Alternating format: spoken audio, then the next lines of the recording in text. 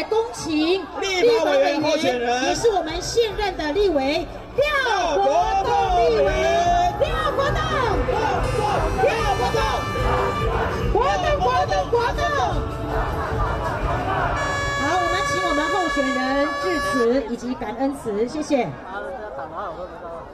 首先，让我们再次的欢迎我们的庶民总统韩国瑜，好不好？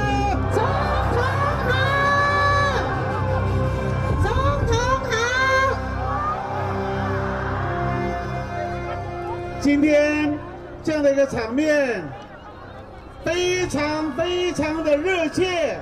我们要的是改变台湾，翻转台湾，对不对？翻转台湾。在这里要代表台东来表达一个心声。今天韩市长、韩总统，我们一路从南到北，参加了多项的一个会议，当中有一件事情，就是我们都觉得这几年甚至数十年，台湾的发展城乡不均衡，有亏台东的花莲。对不对？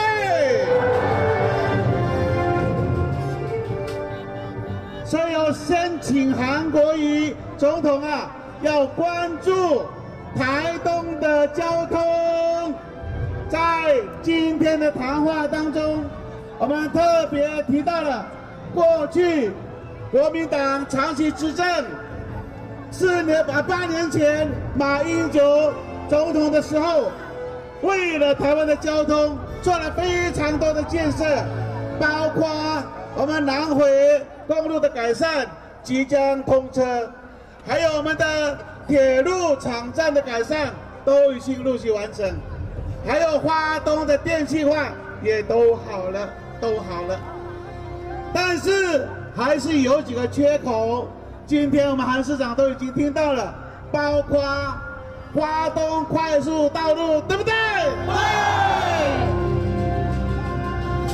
还有花东的铁路的双轨化，对不对？对。今天我们韩总统都已经听到了，我只是代表台东再一次的重播这些内容。台东要的不是什么，就是一个公平城乡发展的均衡，对不对？对。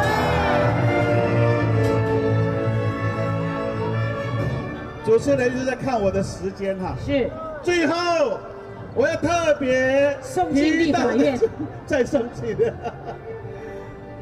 这一次，国栋再次的获得中国国民的提名，来竞争再一次的为大家服务的机会。我要告诉我们的原住民的朋友，廖国栋在立法院非常。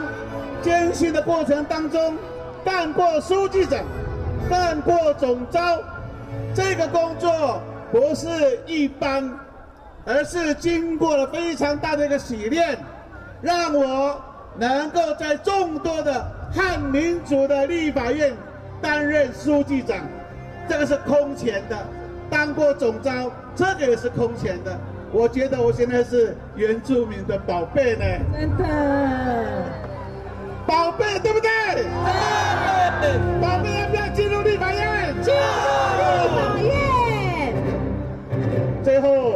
我们对韩总统有非常非常多的一个期待。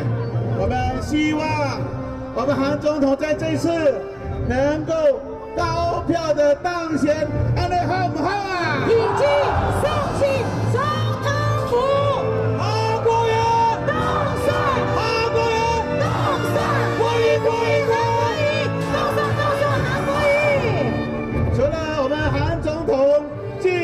总统府之外，诚如大家所知道的，如果没有立法院的支撑，这个总统会做得非常的辛苦。所以，我们几位提名的同志，张志明同志，张志明同志，动算正辉同志，加油！廖国栋同志，加油！通通要进入立法院，来，你好不好？